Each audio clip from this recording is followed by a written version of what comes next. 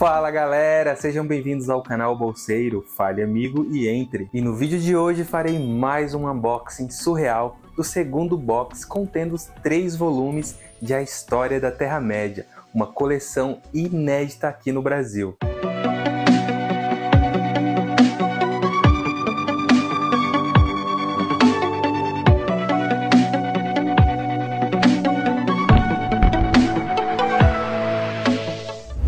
Em bolsão um box maravilhoso enviado pela HarperCollins Brasil, contendo três volumes de A História da Terra-média, os volumes 3, 4 e 5, mais especificamente as Baladas de Beleriand, a Formação da Terra-média e a Estrada Perdida e outros escritos. Para quem não sabe, a História da Terra-média é uma coleção de 12 volumes e a editora HarperCollins Brasil está lançando esses 12 volumes separadamente em boxes. Eu já fiz o um unboxing aqui no canal do primeiro box dessa coleção que contém dois volumes. Já esse segundo box contém três volumes. Se você não faz ideia do que é essa coleção A História da Terra-média, resumindo, Tolkien deixou uma vasta quantidade de materiais complementares que expandem e detalham seu legendário, sua mitologia, ou seja, muito material específico desse universo que tanto amamos. Esses escritos foram compilados e editados pelo filho de Tolkien, Christopher Tolkien,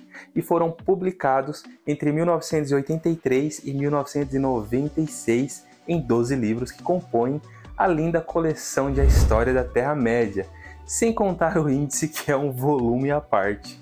Essa coleção mostra o desenvolvimento e evolução ao longo do tempo do legendário de Tolkien, da Terra-média, seus povos, línguas e história, desde rascunhos até chegar nas versões finais das histórias que compõem o Silmarillion e o Senhor dos Anéis, todo o material original de Tolkien acompanhado por muitas notas de Christopher Tolkien. Como eu disse anteriormente, esse segundo box é composto pelos volumes 3, 4 e 5 dessa coleção, As Baladas de Beleriand, A Formação da Terra-média e A Estrada Perdida e outros escritos, que continuam a explorar a Terra-média e discutem a história inicial de O Silmarillion. Mas antes de tudo, se você ainda não se inscreveu no canal, deixe de ser troll e se inscreva agora mesmo.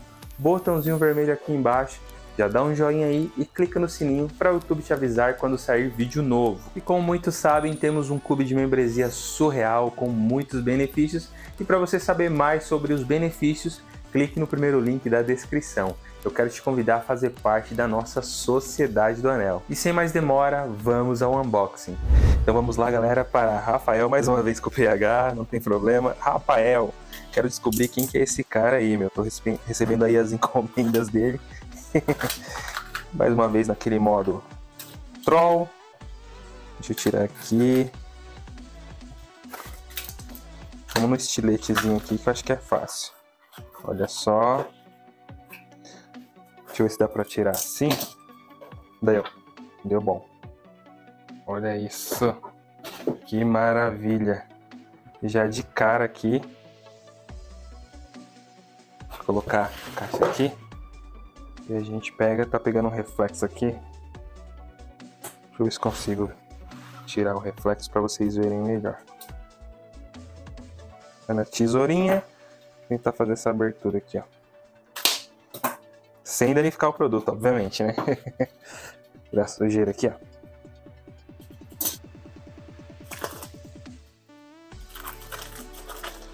Nossa, muito top.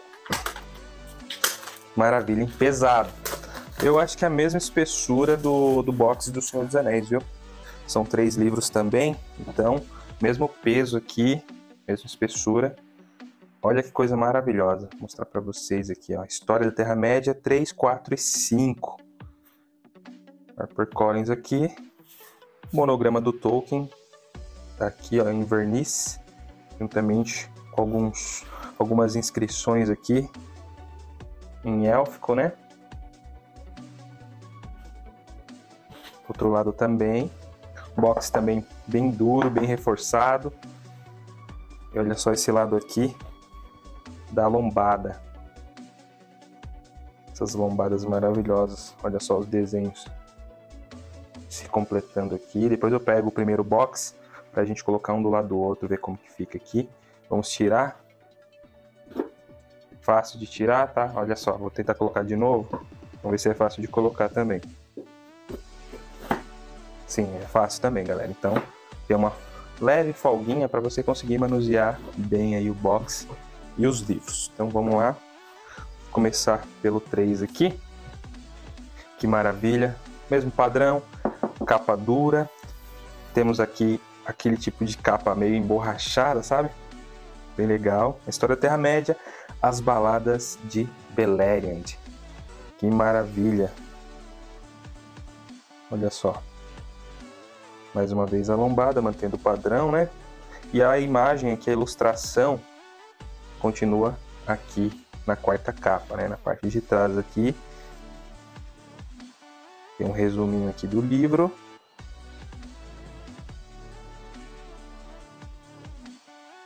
a ilustração do John Hall e essa ilustração, se não me engano, é o Desafio de Fingolfin, o nome dessa ilustração.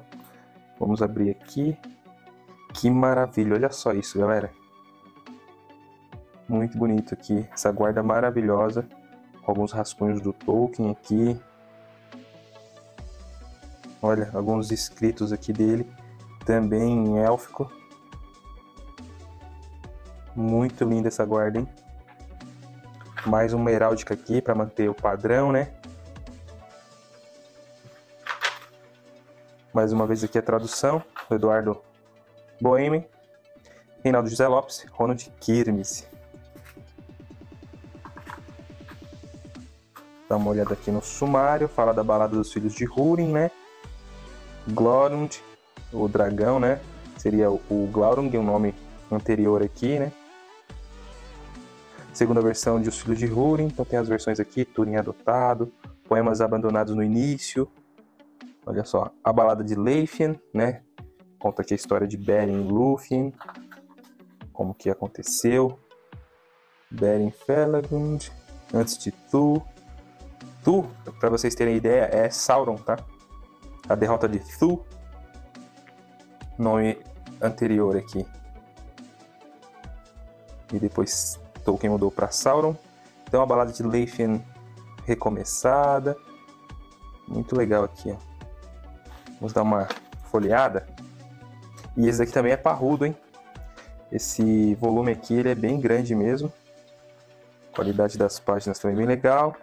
É, fitilho aqui, fitilho preto, então acredito que todos terão, todas as edições terão esses fitilhos pretos aqui, né, para combinar com lombada, com todo o projeto gráfico dessas edições, né? Tem bastante coisa, só para a gente ter uma ideia aqui de número de páginas, né? Vou dar uma olhada aqui. Olha só, galera. Coisa pra caramba. Aqui são os poemas originais, né, em inglês. Mais de 600 páginas, 620 páginas, mas aqui eles mantiveram os poemas em inglês, né? Caso você queira consultar, tem aqui os poemas em português, né? Tá aqui traduzido. Mas se você queira consultar os poemas originais no idioma original, aqui ó, poemas originais, é tudo isso daqui, ó. Então a editora não economizou, né? Porque ela poderia ter tirado isso, né? Ter falado, ó, a gente já traduziu, tá aqui os poemas, mas ela manteve os originais aqui, porque é só em inglês mesmo, como se você tivesse a edição em inglês aqui de poemas, né? Para você consultar. Mas tudo isso aqui, ó, de poemas originais. Ela tem feito isso em todos os livros que tem esses poemas, né? Mais uma heráldica aqui maravilhosa. Olha só. Finaliza aqui a guarda final, né? É diferente da primeira. Segunda guarda aqui, ó, diferente, muito bom também alguns desenhos, rascunhos aqui do Tolkien, do mapa também. Muito legal. Só para comparar aqui, eu tenho o volume britânico, só para vocês verem. Bem mais simples, ó. Tem até umas manchinhas aqui, galera, e é um volume é, relativamente novo, tá? Não é um volume antigo, não. Vocês podem ver que manchou tudo aqui, ó, amarelou. Não é um livro velho, né? Comprei tem pouco tempo. Esse daqui eu acho que tem uns dois anos ou até menos que eu comprei novo, tá? Lacrado Só que essas folhas, essas páginas, esse material, ele não é muito bom aqui para o Brasil, um país tropical, porque ele acumula mofo, amarela as páginas, o que não acontece. Depois eu posso até falar no canal sobre isso. É, tem acontecido isso comigo. O que não acontece com as edições do Brasil mesmo. Então essas edições elas são até nisso elas são melhores porque elas não amarelam as páginas assim, não dá mofo, não dá esses focos aqui de mofo, né? Umas, uns pigmentos aqui, umas bolinhas amareladas e é complicado, né? Então até nisso a nossa edição ganha da gringa, né? O tamanho também vocês podem ver, ó, a nossa edição tá um pouco maior, é capa dura, edição é capa mole. Então a nossa edição tá bem melhor, ó, até a arte, vocês podem comparar aí, ó. Fica bem mais legal, né? Então esse daqui foi as baladas de Beleriand, do volume 3, né? Agora vamos do volume 4. Esse daqui. Que é a formação da Terra-média. Olha que legal. Mesmo padrão, a capa, né? Como vocês sabem. Tem aqui a lombada, também se completa. Continua aqui a ilustração na quarta capa, né? Na parte de trás. E é, o nome dessa ilustração também, se não me engano, né, traduzindo aí literalmente, acho que é o Cerco de Angband. Mais uma vez aqui, algumas coisas. Eu acho que se repete do, do terceiro volume, né? Na guarda do terceiro volume. Olha só, vamos comparar. É, repete a mesma guarda. Então, beleza, vocês já viram essa guarda aqui. É, vamos ver se a heráldica é igual. Comparar a heráldica é igual. Esmeráldica. Só que a tradução aqui é só do Gabriel Brum. Gabriel Oliva Brum também, um dos mentores aqui do canal, junto com o Reinaldo José Lopes. Então, a tradução é só do Gabriel Brum para esse volume da formação da Terra-média, né? Então vamos dar mais uma olhadinha aqui por cima, no sumário, para vocês terem uma ideia do encontrado, o que tem nesse livro, né? É, fragmentos em prosa após os contos perdidos, primeira versão do Silmarillion, o Quenta, olha que legal o comentário sobre o Wamba Canta. Eu não sei se eu estou acertando aqui a tônica, Anais de Valinor, primeira versão dos Anais de Valinor, vamos dar uma olhada por cima. Mais uma vez aqui o fitilho, vocês estão vendo preto, né? Quando tem fitilho assim, a gente já sabe que uma edição de luxo, né? Capa dura, fitilho, todo esse acabamento, um projeto gráfico assim. Né? Edição, só de edição de luxo. Tem alguns rascunhos e ilustrações de Tolkien aqui. Esse daqui é um pouco menor, aquele tinha 620 páginas. Esse daqui vai para 431 páginas. Acaba também com a mesma heráldica que o outro acaba, o terceiro volume, e também a mesma guarda do terceiro volume. Vamos comparar aqui com a edição britânica, para vocês terem uma ideia. Opa, vou colocar aqui assim. Ó, vocês verem a guarda também. Vocês verem a lombada também. Ó, vocês podem ver que não continua a ilustração aqui da edição britânica, não continua na quarta capa, né? Não tem esse, essa preocupação, já que continua, né? Diferente. The Shaping of Middle-earth.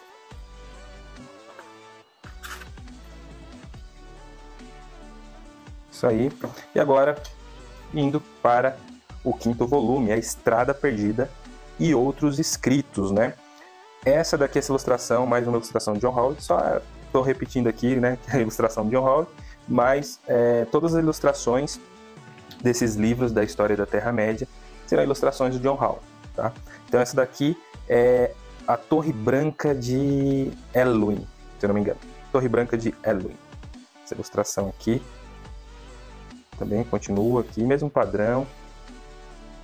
Maravilhoso mantém a mesma guarda desses três volumes que a gente está vendo hoje, Esmeráldica. Tradução também exclusiva aqui do Gabriel Brum, né? Então, mais um livro que é só com tradução dele. Deixa eu colocar isso aqui embaixo para a gente pra poder apoiar. E a gente vê aqui o sumário mais uma vez. Olha só, tem a queda de número e a estrada perdida. Né? História inicial da lenda, olha que legal, da queda de Númenor, Estrada Perdida, tem a parte 2, Valinor e a Terra-média antes de O Senhor dos Anéis.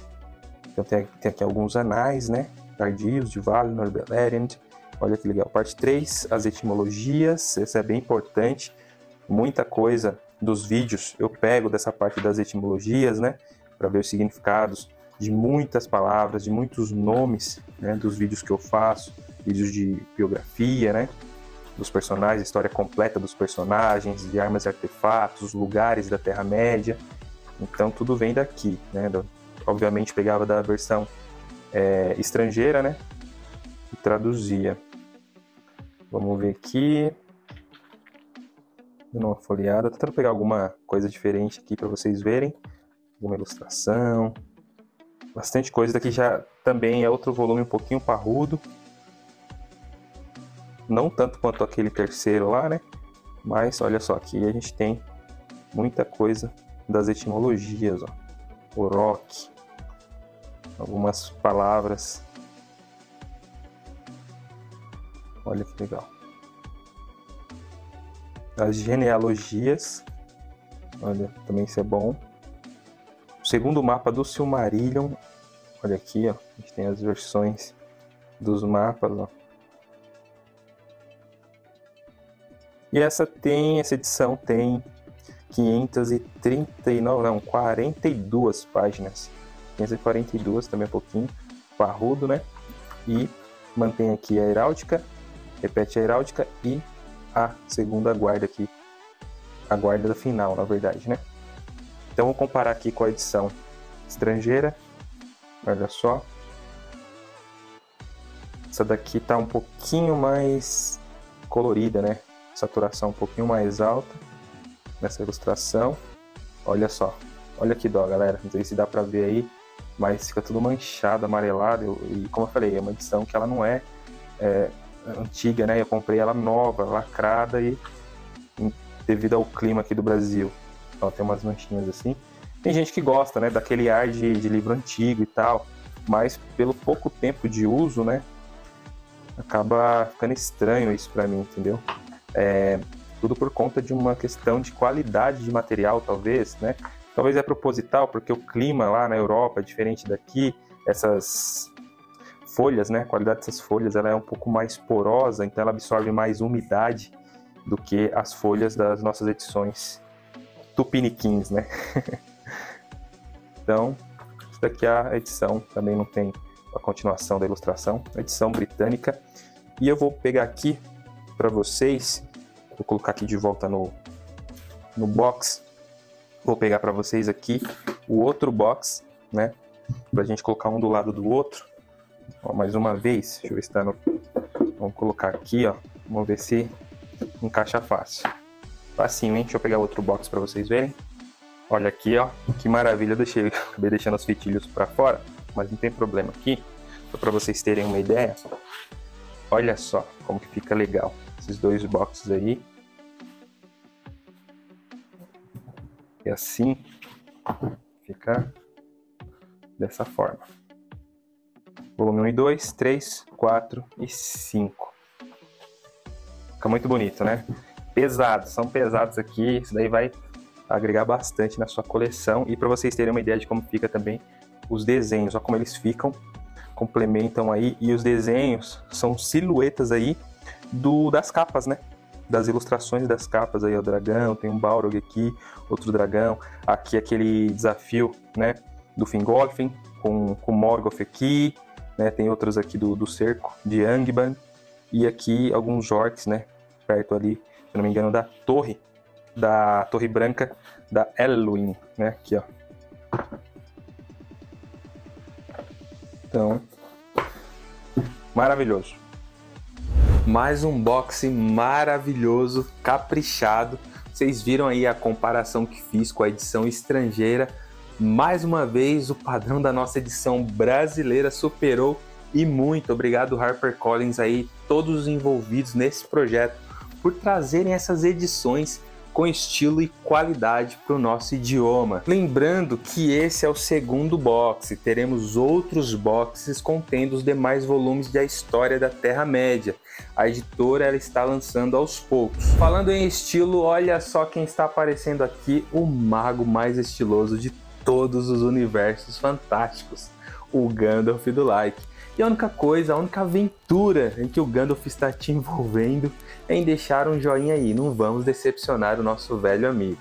Se você quiser adquirir esse box, na descrição está o meu link da Amazon e comprando no meu link você ajudará financeiramente o canal e sem custo adicional. Dê em preferência as compras na Amazon com o meu link. E é isso galera, o vídeo vai ficando por aqui. Eu espero que vocês tenham gostado. Não se esqueçam de se inscreverem no canal, de deixar um gostei e ativar o sininho das notificações, isso me ajuda muito. Curta a página no Facebook, siga o Bolseiro lá no Instagram e também no Twitter. Os links estão na descrição. E lá você também encontra os links dos patrocinadores e dos amigos do Bolseiro. E eu não conheço a metade de vocês, a metade do que gostaria, e gosto de menos da metade de vocês, a metade do que merecem.